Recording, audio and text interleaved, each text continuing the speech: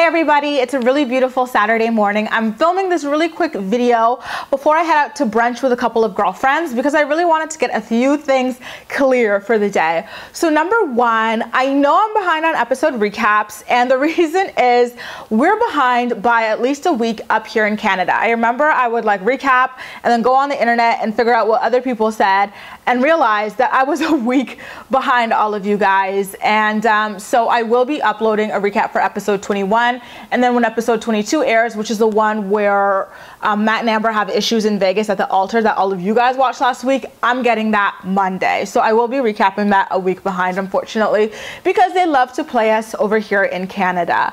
And second of all, I do have a couple of videos coming up for you guys. Right now I'm filming a reaction to Jenelle and David jumping Barbara outside of a restaurant and accusing her of drunk driving with the children.